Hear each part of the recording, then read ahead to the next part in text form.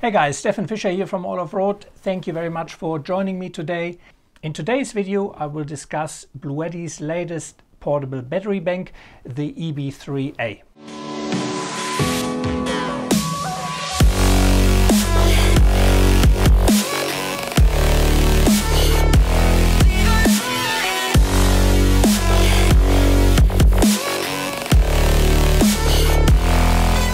I have been using the EB3A for the past two and a half months around my studio and home, but also recently on a Simpson Desert trip where the unit traveled with me for three and a half weeks through the hot Simpson Desert and over some very harsh corrugation.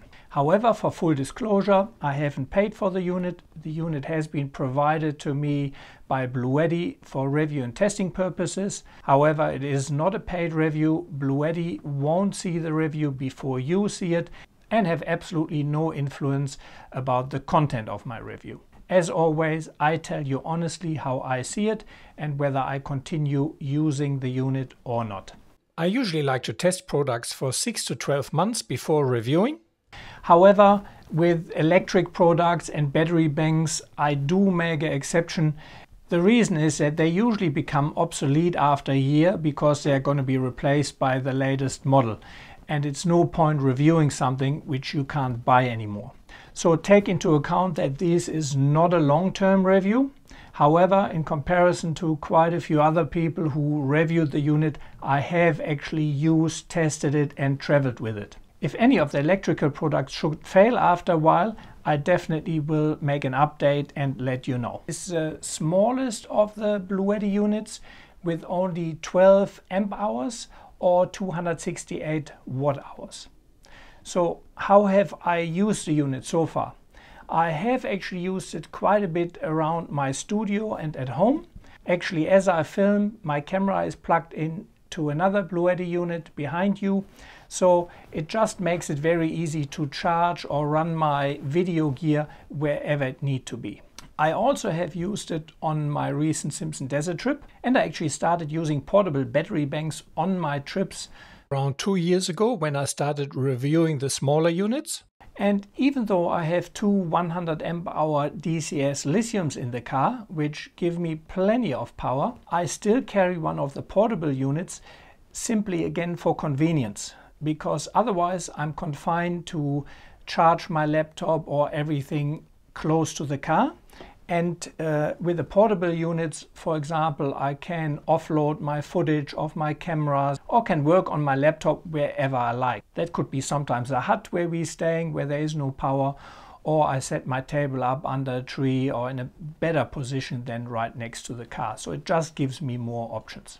It's also nice if we have a rest day and we sit under a tree, I can still charge my Kindle and my camera gear and don't have to do that in the car. So let's first talk about the inputs and how I can charge the unit. The unit does have a 200 watt MPPT solar regulator built in, so you can charge it via a solar panel, which obviously need to purchase separately.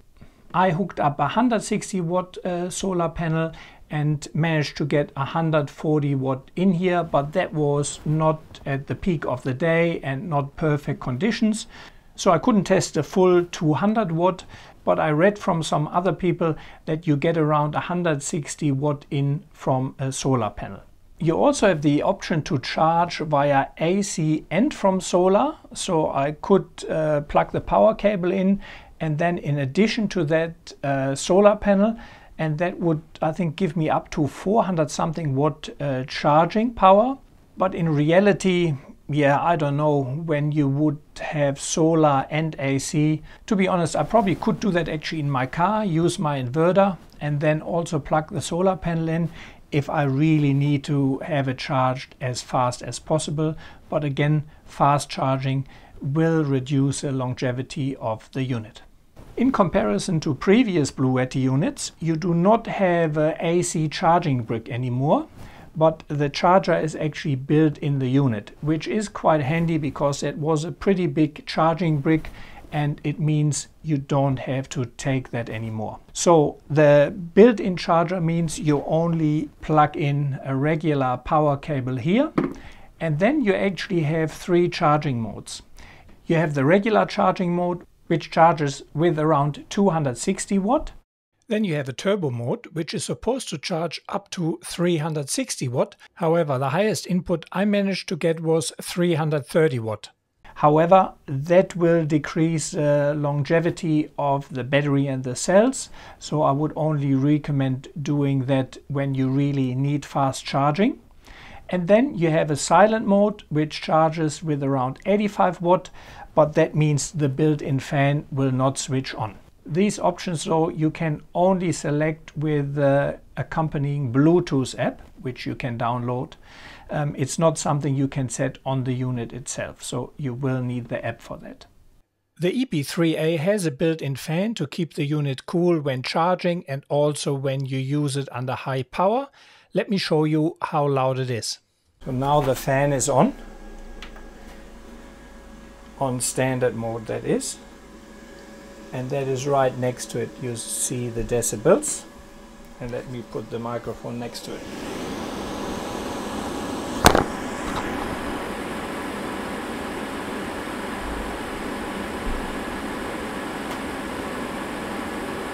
So it is reasonably loud. You probably don't want to have a charging next to your bed. But at least this unit gets rid of the charging brick of the previous EB units, which is this huge charging brick, which now you don't have to bring anymore because that's all built in to the actual unit. You can also charge the unit via a 12 volt cigarette lighter uh, plug in the car, which I did on my trip. So the Bluetti uh, EB3A also has pass-through charging. So at the moment I'm charging my drone batteries over here, or my drone battery, my Mavic battery here. I'm charging my Fitbit, but I also have it plugged into the cigarette lighter port um, of my Land Cruiser, which runs two lithium batteries, two 100 amp hour DCS lithium batteries. So I'm charging now with 83 watts, mind you. The output is 115 watts because I'm using 220 volt here. But yeah, it has pass through charging, which uh, yeah is good.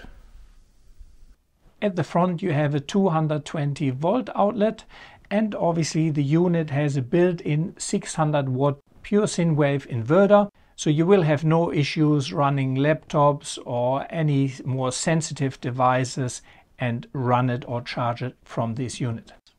Then you have two USB-A ports. Unfortunately, they are not uh, QC3, so there are no fast charging ports and only charge with 5 volt or 3 amp. That's a bit of a pity. However, you have one 100 watt uh, USB-C fast charging port and that is great uh, to charge my MacBook or keep it running and charge my drones or anything which really requires high output charging. You also have a 15 watt wireless charger on top and in comparison to the EB55 where it sometimes was a bit finicky to position the phone correctly um, this one works much better and it's usually no problem to place a phone in the correct spot to get charged. You also have two 5521 barrel connectors. Many units have them, but to be honest, I have no use for them. I, I don't really know what I would plug in there, but good to have them. Maybe you need them. I had no issue running the unit close to the advertised 600 watt and with a constant use around the 470 watt mark, the unit did run for 26 minutes before switching off. One of the big differentiation factors and why I personally really like the Bluetti gear is that they use a different lithium cell chemistry than most other portable battery bank manufacturers. The most other providers use NMC. NMC has a higher density, however, it also has a few drawbacks. For instance, NMC is not as safe as LiFePO4 if you remember mobile phones exploding and so on, that is NMC lithium chemistry and not LiFePO4. I also don't want to scaremonger because really NMC is in tons of products you at the moment probably have. Drone batteries, phones, uh, solar storage banks all usually use NMC. However, one of the other disadvantages of NMC is the lifespan. So an NMC cell, for example, you can charge down to 80% anywhere between 4 and 800 times. A LiFePO4 cell you can drain down uh, 80% around 2500 times. So LiFePO4, if the rest of the electronics um, doesn't fail you, should last you around three times longer than NMC. And that's one of the reasons why I really like the Bluetti stuff because they use LFP and not NMC. Bluetti also has improved the display of the EB3A versus, for example, the EB55. With the EB55, you only could see the usage in increments of 20%. With the EB3A, you now have 1% increments. You also have a time to live, so you can see how long the battery will last under the current load. The unit has a built-in LED light with three different settings, low, bright, and you also have a SOS function. Let's talk about what I think could be improved on the unit.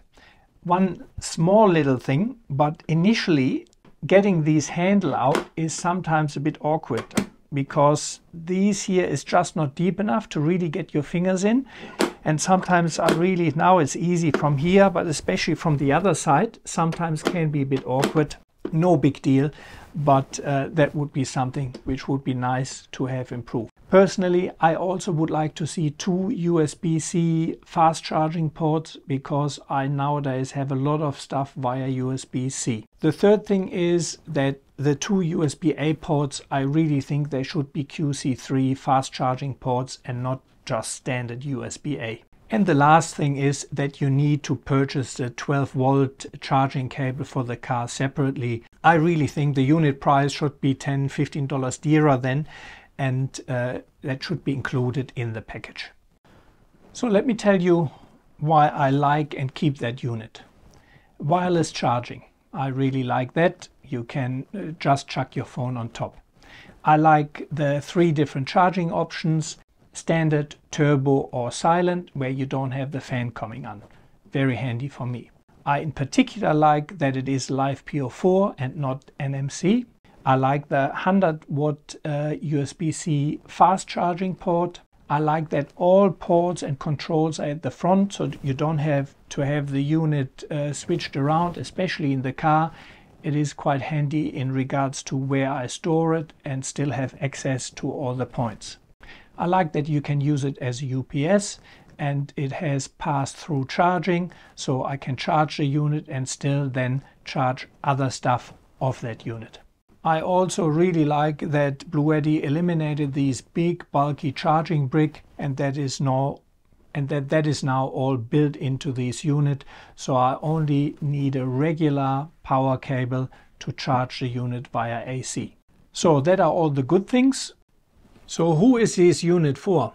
To be honest, for my purposes, it worked quite well because in my car, as I mentioned, I have 200 amp hours of lithium. So I do not rely on this unit for any heavy lifting to run my fridge or stuff like that. I run some lights of it, my computer and uh, charge devices of it. Around the house and studio, also no problem. I can run my laptop or multiple devices on it for quite some time before I need to recharge the unit. And with the fast recharge times, not really a big deal. However, if you are really looking for a unit which you want to take camping and that should last you for a weekend, I think you have to go for a little bit bigger unit, say the EB55 or even the EB70, because yeah, 12 amp hours is, is not a big unit. I have a 15 liter uh, Bushman Roadie fridge here and I managed to run that fridge off it for 24 hours. That was at around 22 uh, degrees ambient temperature and the fridge set to plus 4 degrees. You, you could get away with it if you only run a small fridge uh, of it, say overnight, and you have some solar to recharge. but overall conclusion for me, I think I definitely will keep that unit here and yeah, use it as I have been using it. Uh, take it on trips with me and also use it around my studio and home. Longevity wise, obviously I can't tell you that much. However, it has been on a trip with me. Um, we had some pretty horrible corrugation.